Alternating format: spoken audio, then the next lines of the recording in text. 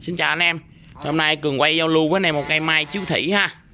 Đây cây này rất là già anh em nha. Anh em coi nó lắc lượng nè. Từ dưới lên trên luôn ha.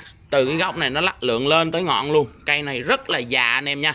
Đây nó có cái nhánh tử rất là duyên ha. Cái này anh em để trưng bày mặt này rất là đẹp nha.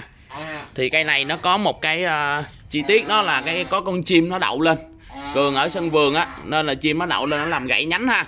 Thì cái này anh em về anh em uh, nuôi thêm sửa lại là mình sẽ chơi được ha. Cỡ 6 đến 7 tháng thôi anh em nha. Thì cái này Cường sẽ giao lưu với anh em với giá là 2 triệu 600k chưa bao gồm phí ship nha anh em. Đó luôn chậu ha. Thì cái chiều cao của cây này là cỡ 35 36 cm anh em nha. Đó và cái uh, cốt quanh này nó bự hơn ngón tay cái của Cường rất là nhiều ha. Và Cường nhắc lại cây rất già nha anh em.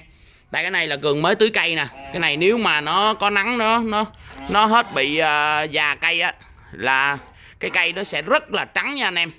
Xin lỗi anh em là nó mà có nắng nó khô quá là cây sẽ rất là trắng ha. Đó, có đúng một cái chi tiết này thôi.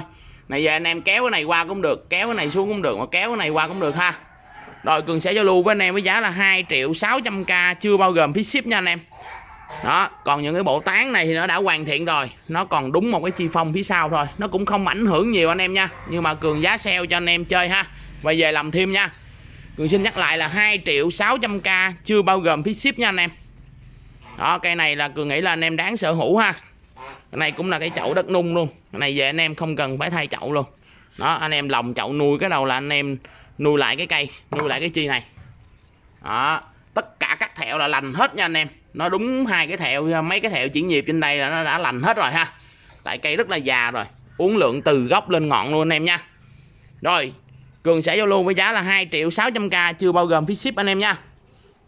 Rồi anh em nào muốn sở hữu thì liên hệ trực tiếp với số điện thoại của Cường, nó là 0374 113366 hoặc anh em có thể kết bạn Zalo là 093 7787700 để gặp trực tiếp Cường anh em nha.